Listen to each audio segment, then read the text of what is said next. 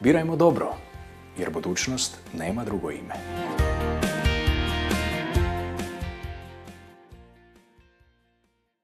Lijepi vam pozdrav, dobri ljudi, u dobroj emisiji.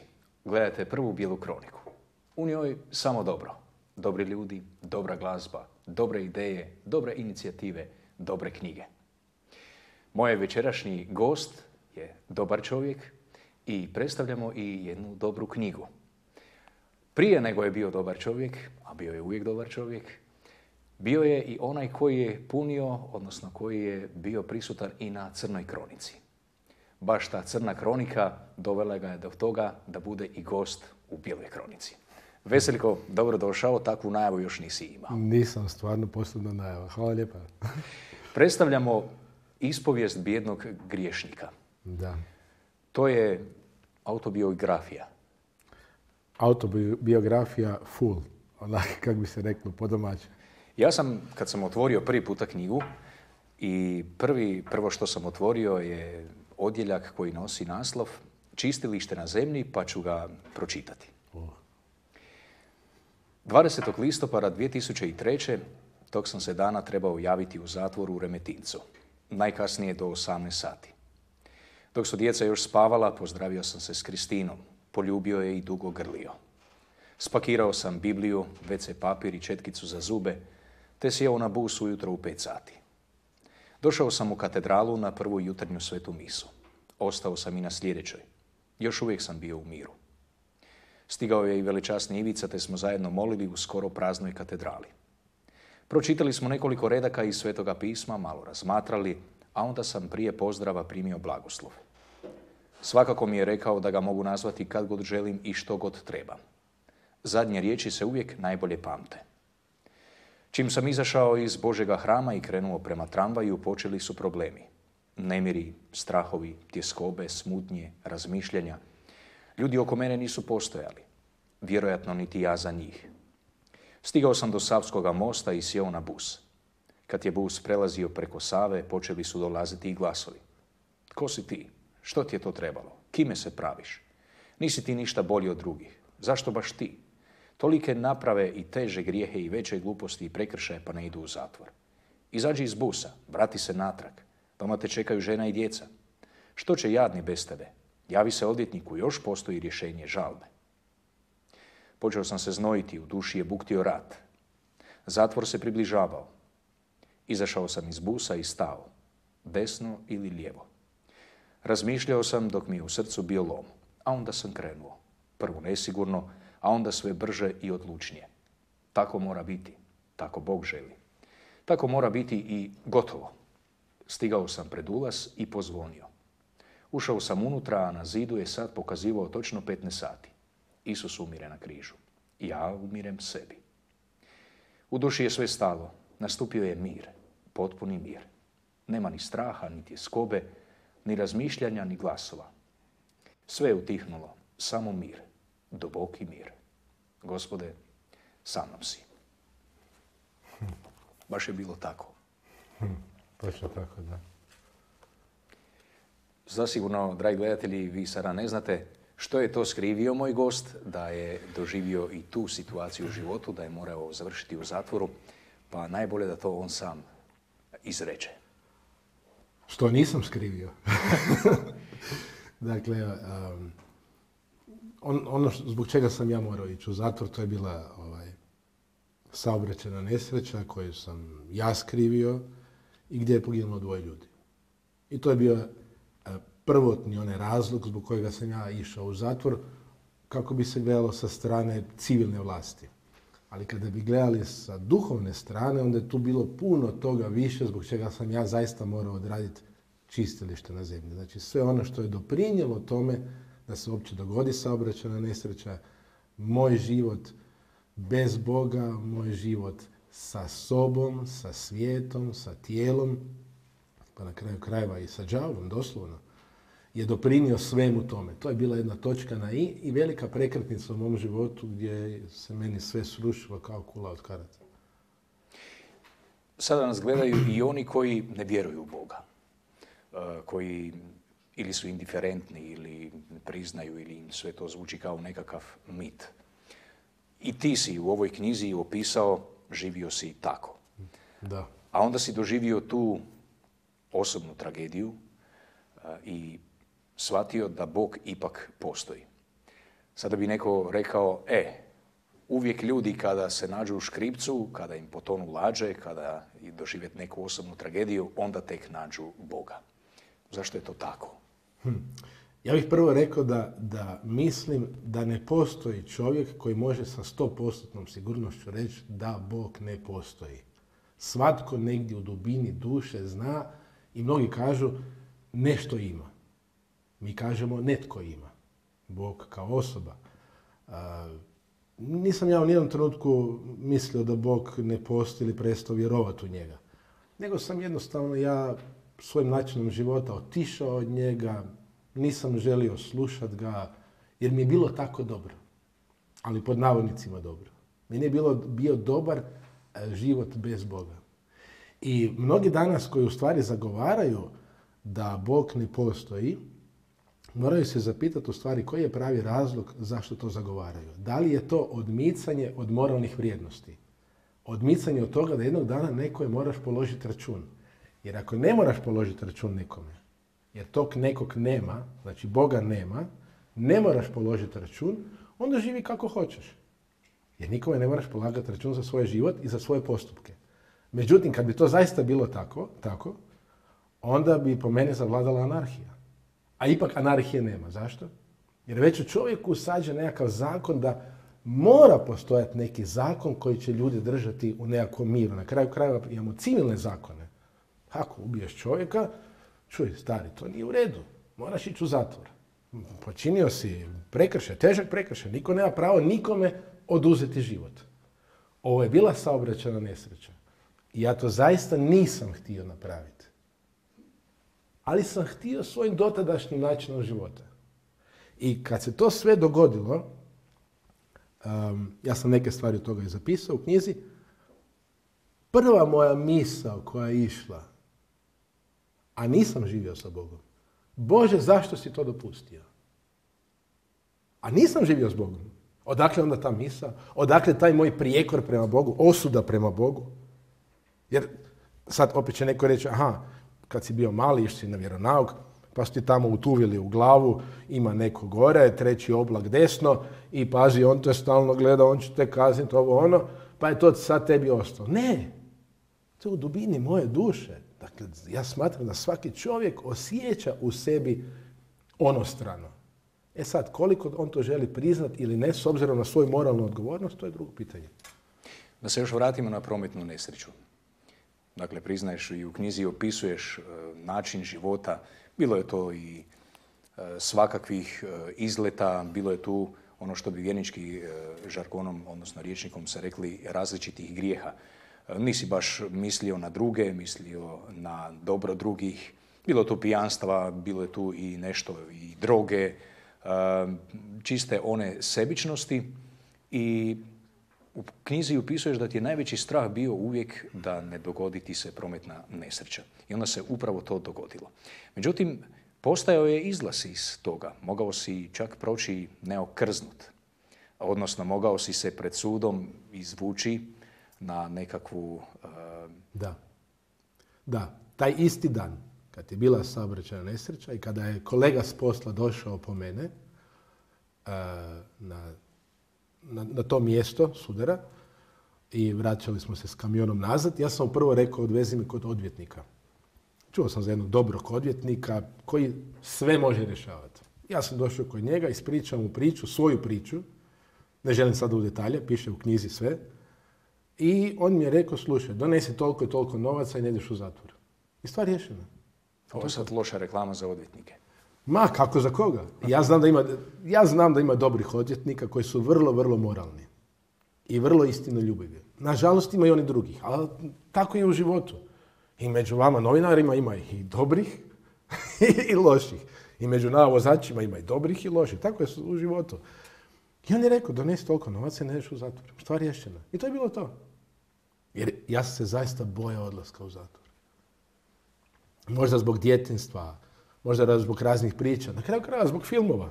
Pa vidimo šta se u zatvorima dešava. Ja se zaista bojao toga. I bio sam spreman učiniti sve što je moguće da ne idem u zatvor. Međutim, dogodilo se... Međutim, dogodio se preokret u savjesti.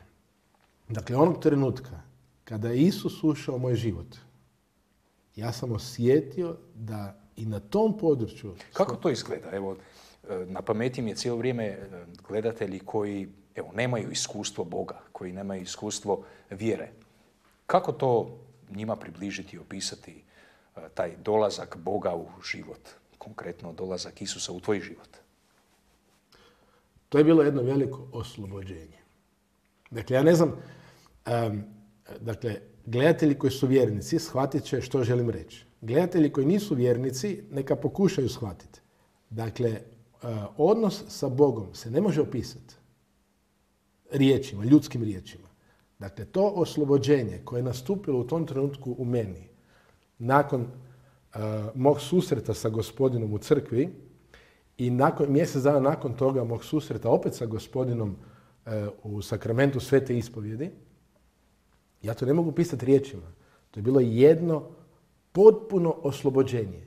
Gdje čovjek ima svijest, prvo, velike i neizmjerne Bože ljubavi. Bez obzira na to što sam ja učinio. Bog me ljubi. I drugo, jedno veliko i neizmjerno Bože milosrđe, gdje Bog mi je pokazao da mi je spreman sve oprostiti. Ali sve. I one, od onih najmanjih, ako postoje grijeha, do onih najtežih grijeha. Čak ta saobraćena nesreća i nije bio najteži grijeh u mom životu. To je tek na peta Božja zapovjed, ne ubi. Gdje je ovih prijašnjih četiri? Dakle, kad, kad sam osjetio to oslobođenje, da, da sam zaista voljen i da sam slobodan, to je, ma, ja ne znam kako to izraziti, to je kao da 500 kila tereta ti padne s ramena. I u jednom trenutku te obasja svjetlo i sve ti je jasno. I sve shvaćaš. Shvaćaš uzroke i posljedice događaja. I to je ono što je, što je, meni, bilo, što je meni bilo bitno. Aha, vidiš, e, piše Sveti Pavao u jednom trenutku u poslanici nešto kao tko što sije, to će i žeti. I to je zaista istina. Pa mislim, e, ljudi sade voćke, pa ako ćeš zaljevati otrovom, šta će ti roditi? Ako ih zaljevaš sa gnojom, rodit će ti dobrim plodom. Dakle, ali tako i u duhovnom životu. Isto kao u tjelesnom. I to se je dogodilo. Ali trebalo je platiti određenu cijenu. Pa, mi uvijek plaćamo cijenu. Ideš nešto kupiti, plaćaš. Moraš platiti. I što god radiš, moraš platiti. To je tako, to je, to je, to je pisani, neću reći ne pisani, to je pisani Boži zakon. Htjeli to ljudi priznati ili ne, svatko mora platiti cijenu. Ali sad na koji način? Isus je platio cijenu za mene, za sve loše što sam učinio. Ja sam samo trebao prihvatiti to što je on učinio za mene, što je umro za mene. Reći, hvala ti Isuse i želim živjeti za tebe, želim ti služiti. Ali, što sam ja učinio? Glupo to sve napustio. I onda ko sad plaća cijenu? Onda plaćam cijenu ja. A čovjek kako će platiti cijenu? Kako će sad moje dijete platiti cijenu nekako? U dućanu ne zarađuje. Mogu samo ja platiti to. Bog je platio za mene. Ali eto, ja to nisam htio prihvatiti. Živio sam po svom, onda sam cijenu plaćao ja. Rekao si da je odvjetnik ti ponudio, odnosno jamčio ti na neki način da, ćeš dobiti oslobađajuću presudu. I ta cijena je bila na neki način, ne na neki način, nego sigurno uh, priznati istinu. Daj nam malo opiši tu, detaljnije opisuješ u knjizi taj susret s odvjetnikom kada ti njemu uh, pred ročište uh, dolaziš i kažeš ja želim reći istinu. Da, u tom trenutku je nakon toga nastupio jedan teški napad. Danas znam da taj napad nije bio s njegove strane, nego zaista sa strane zloduha, sa strane oca laži, sa strane đavla koji je htio da ja ustrem u laži, da ostanem i dalje njegov. Uslijedio jedan napad da ja to ne smijem učiniti tako, još ćemo se razgovarati o tome. I onda sam imao jedan veliki problem kada sam izašao iz odvjetničkog ureda i krenuo prema autu, ja sam povraćao. Dakle, jedna zanimljiva stvar se dogodila, ja to tada nisam shvaćao, na taj način kao što danas shvaćam, sam povraćao, bilo mi je loše, vrtilo mi se u glavi, sjeo sam u auto, bio sam u auto jedno 15 minuta, jedva došao doma, po putu skoro pao u nesvijest. Jedan baš je bio napad, htjeli to ljudi priznati ili ne, ali napad zloga. na to što sam ja odlučio reći istinu. Ja sam došao doma i molio sam i na jedan put je bilo dobro. I kada smo nakon tjedan ili dva, ne znam koliko je prošlo vremena, išli u Kutinu na općinski sud, cijelim tim putem, jer odvjetnik me tamo vozio svojim autom, i on mene nagovarao. Ne, ne, ti moraš, ti moraš, ti moraš. Bože, dragi, pa ne želim, želim postupiti onako kako ti želiš, Bože. Jer dosta mi je bilo onog života, jer vidim koje plodove donio onaj život, bez tebe, Bože. Sad želim s tobom biti. I onda tamo kad smo došli pred općinski sud, odvjetnik je zvadio jedan papir, Bogu hvala, pa uspio, nekako je to sačuvano, pa je ostalo ovaj, u, knjizi, u knjizi taj papirić, gdje je on napisao nešto kao da se ja odričem njegovog savjeta i tako, i on se do, ja sam se trebao dolje potpisati, i on je to poslije rekao sudcu, evo, to je prvi puta da se neko odrekao mog savjeta, odvjet, e, branitelj, e, pardon, branjenik, branjenik, se želi samo braniti, želi izreći svoju istinu i tako. To je, napadi su bili cijelo vrijeme. I ti si tamo pred sudom izrekao tu istinu. Bilo je to jako teško.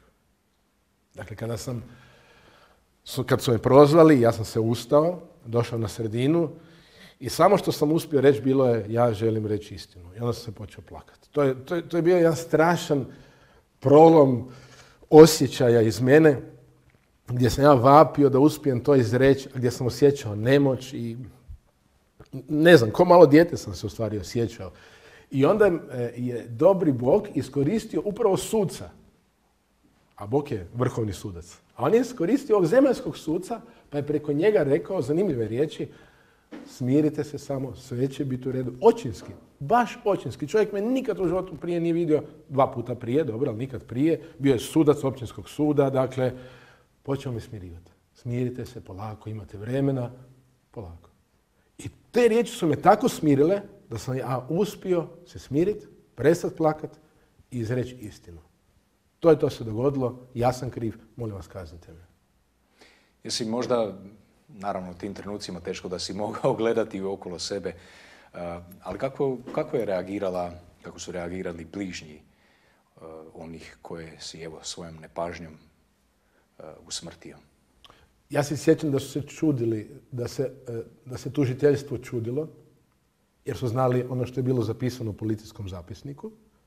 Dakle, sad na je promjena iskaza. Kod nas je drugačiji zakon u Americi, pa ti što kažeš policiji, to nema veze na sudu, jel? E, međutim, e, iza ne znam kako u tom trenutku reagirala majka od pokojnog mladića. E, znam da je plakala bila i znam da sam se ja nakon toga njoj okrenuo i zaista zamolio za oproštenje već tada. I rekao, Evo, gospođo, stvarno, ali da sam ja znao da će se to dogoditi, pa ja ne bi zašao iz kreveta cijeli dan. Mislim, to se stvarno može svakome dogoditi. Ali ja priznam da sam ja to skrivio svojom nepažnjom vožnjom. Ja zaista molim oprostiti. Ja molim za vašeg sina i tako. I tu je ostalo, tu je stalo to. Dogodit će se nekoliko godina kasnije susret, to je zgodno u knjizi si opisao u Međugorju. Da. Susret sa tom majkom. Da. Pa evo, ti nam to opiši. Ovaj, e, vrlo, vrlo jedan zanimljiv događaj gdje čovjek stvarno mora priznat i, i sada opet mi pada na pamet ono što si spomenuo da ovo gledaju i pod navodnicima nevjernici, iako svi ljudi vjeruju. E, kako se može dogoditi? Koji to mora biti režiser? Da spoji dvije osobe u isto vrijeme, na istom mjestu, a jedna osoba iz Slavonije, ta majka, druga osoba, to jest ja, iz Zagorja. I nađemo se, ne na pola puta, nego u Međugorju. U isto vrijeme, na istom mjestu i ona mi prilazi za vrijeme svete mise. I kaže, ja ti sve opraštam. To je, ako mi sad netko kaže da ne postoji režiser koji je iznad nas i koji nam želi dobro i koji spaja ljude u ljubavi i zajedništvu, onda stvarno taj čovjek ne znam kako će završiti. I ko to može dogovoriti? Rekli bi slučajnost. Ljudskim riječnikom. Ljudskim riječnikom. A Božim riječnikom providnost. Kako je tvoja obitelj reagirala? Tvoja supruga? Imao si tada u tom trenutku jedno dijete ste imali ili dvoje? U trenutku uh, saobraćaja nesreće smo već imali dvoje djece. Kako je ona to sve proživjela? Uh, ja tek danas shvaćam, dakle nakon što je prošlo već 20 i nešto godina od tada, Tek danas shvaćam svu veličinu moje žene koja je tada bila uz mene.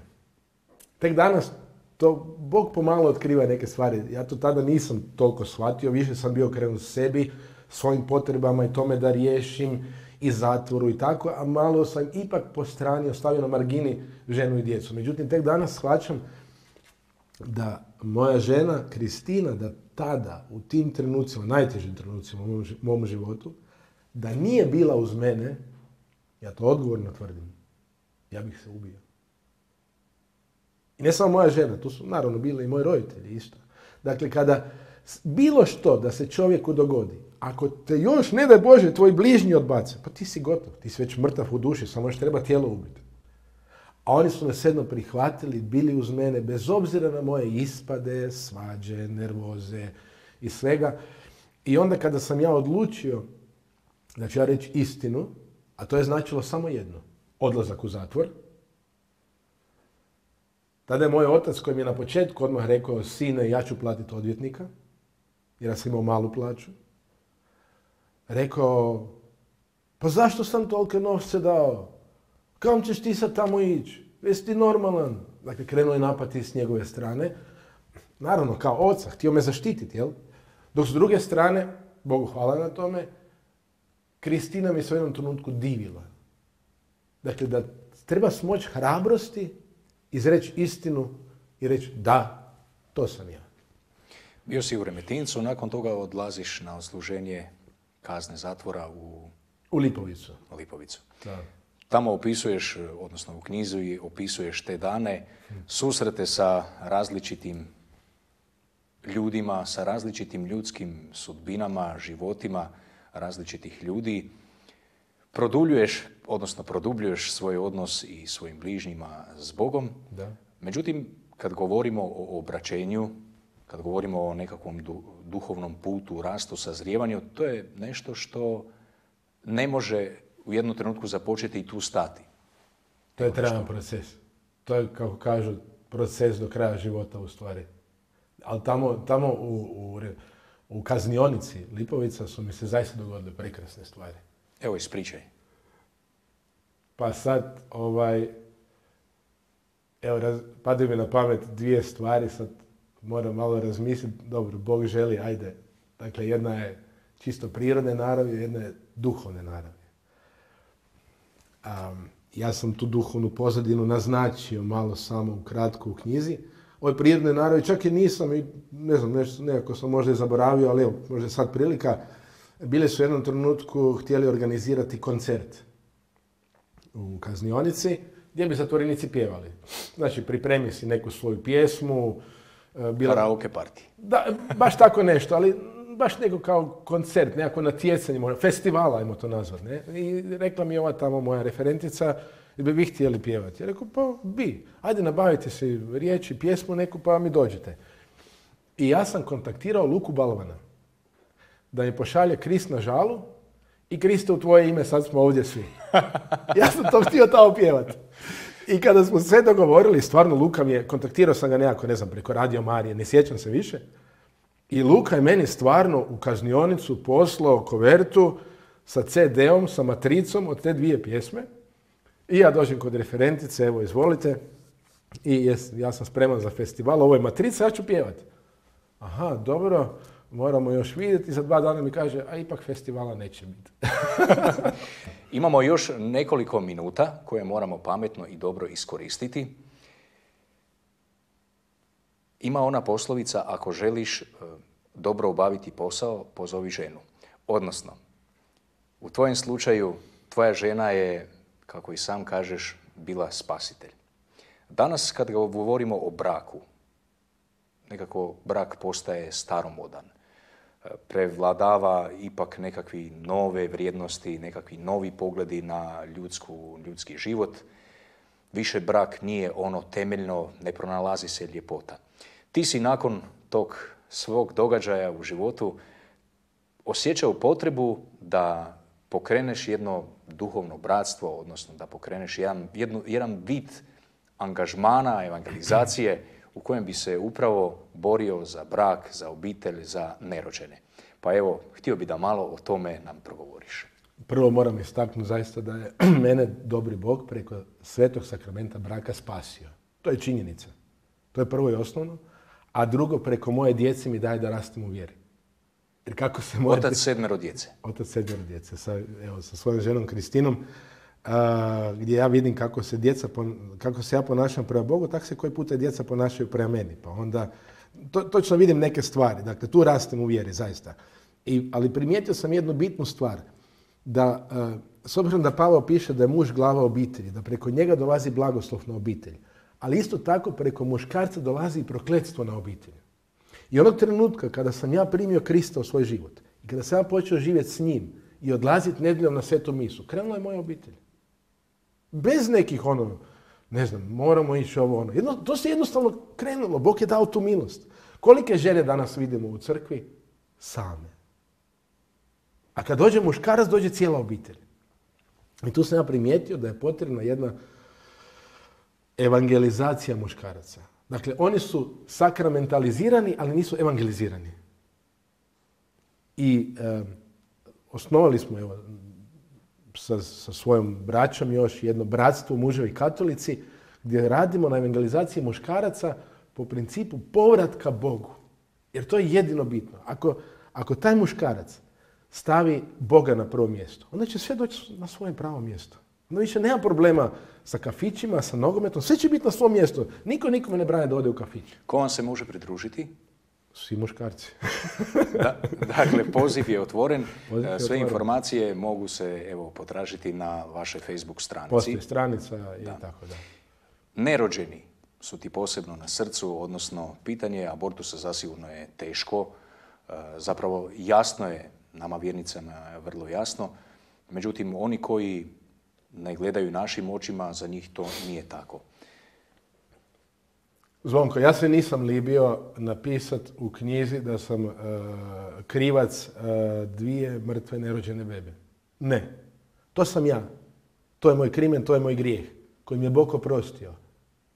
Ali iz zahvalnosti prema Bogu se danas borim za tu, ne, ne, ne za nerođenu djecu, za nerođene ljude. to, je, to je jednako čovjek kao ti i ja. Ima sve jednake osobine kao ti i ja. I ako nešto danas u svijetu vrijeđa Boga, onda je to upravo bojstvo nerođenog djeteta. Jer da meni sad netko dođe doma i da me istuče, zapali kuću, e, opljačka me, bilo što da učini, manje će me boljeti nego da mi ubije dijete. A koliko tek našeg Boga, oca, boli kad mu ubijamo djecu. I onda se čudimo, čudom se svi čude onda. Zašto ratovi, zašto progonstvo, zašto, zašto potresi? Svi se na jedan čude. A čovječe, ne razumiješ da je Bog apsolutni gospodar svega. I svime mudro upravlja. Ali ako mu ti ubiješ dijete, zašto bi to onda Bog blagoslovio? Zašto? Reci mi jedan dobar razlog. Mnogi ljudi kažu, ako je Bog za nas, tko će protiv nas? A što ako Bog nije za nas? Zašto bi Bog bio za hrvatski narod gdje je legaliziran pobačaj? Zašto bi bio? Zbog čega? Njegovo, jedino, njegovo milosrđe nas jedino spašava. Ništa drugo. Knjigu možemo nabaviti gdje? E, knjigu se može nabaviti preko izdavačke kuće Krizinus, e, znači crisinus.gmail.com. Tu idu narudžbe preko izdavača, preko nakladnika i to je za sada najlakši način nabave, dok nešto ne dogovorimo sa nekom knjižarom, ako Bog da, vidjet ćemo. Evo, dragi naši, tri knjige Veseljko poklanja i vama. Da. A način kako doći do knjige je vrlo jednostavan. Otiđete na našu Facebook stranicu Bijela kronika i prva tri potpisnika dobit će ovu knjigu Ispovijest bijednog griješnika.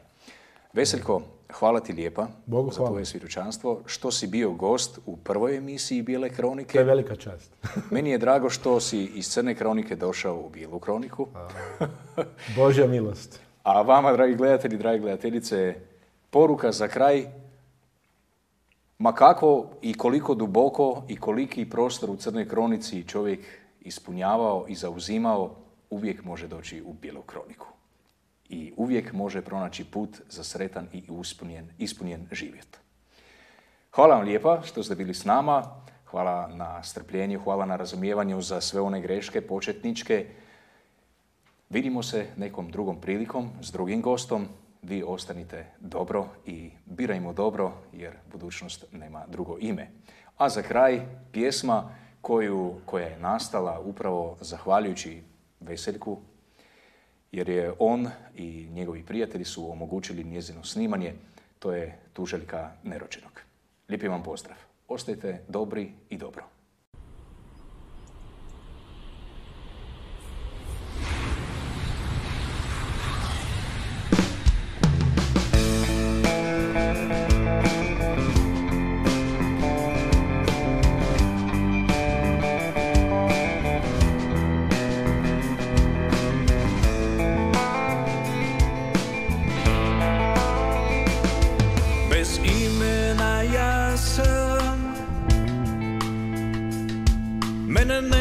Pozna svijet. Ja ne vidim sunce. Mene ne mori svijet.